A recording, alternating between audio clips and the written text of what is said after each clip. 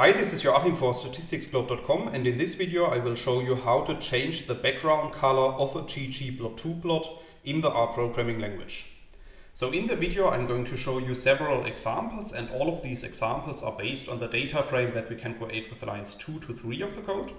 So if you run these lines of code you will see that at the top right of RStudio a new data frame object is created. And if we want to block these data, we also need to install and load the ggplot2 package. And this is what we can do with lines 5 and 6 of the code. I have installed the package already, so I'm just going to load it with line 6 of the code. And after running this line of code, we are able to use the functions of the ggplot2 package. And in lines 8 to 9 of the code, I'm creating a basic scatter plot with the ggplot2 package. So we can also draw this scatter plot by running line 10 of the code and then you can see at the bottom right of RStudio that a scatter plot is created and you can also see that this scatter plot has the default color specifications of the ggplot2 package. Now let's assume that we want to change the background color of the panel of this plot. Then we can apply the code that you can see in lines 12 and 13. So in these lines of code, I am first specifying the name of the plot that I have created before in lines 8 and 9. And I'm using this plot as a basement. And then I'm adding to this plot the theme function. And within the theme function, I'm specifying the panel background to be equal to the filling color that you can see here. So I'm using a hex code to specify my filling color.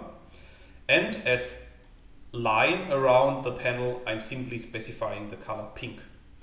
So if you run these two lines of code, you will see that at the bottom right in RStudio, a new plot is created. And as you can see, this plot has blue panels. So this blue color is corresponding to the hex code that I have used here and a pink line around the panel.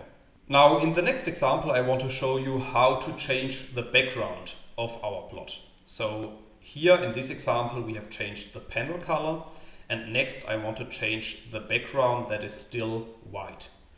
So in this case I'm using the code of lines 15 and 16 and again I'm adding the theme function to our base plot and then within the theme function, I'm specifying the plot background argument. Again, I'm using the same colors as before. So if I run these lines of code, then you can see that in the middle, the panel is back to the original colors that are specified within the ggplot2 package by default.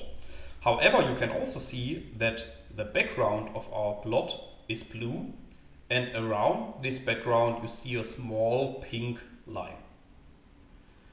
Yeah, so in the first and in the second example I have shown you how to specify the colors of the background of your plot manually.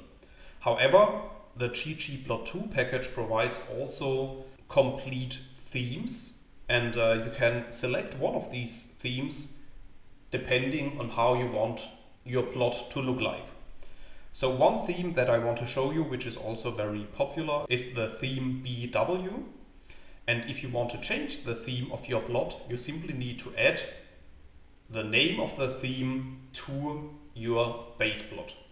So if you run lines 18 and 19 of the code, you will see that the layout of the plot is completely different compared to the layout of the default specifications, even though we have just changed the theme that we are using. So there are multiple different themes available in the ggplot2 package and you can learn more about that in a tutorial that I have recently published on my homepage statisticsglobe.com because in this tutorial I'm discussing the R programming code that I have shown in this video and I'm also linking to a page where you can find all the themes that are available in the ggplot2 package.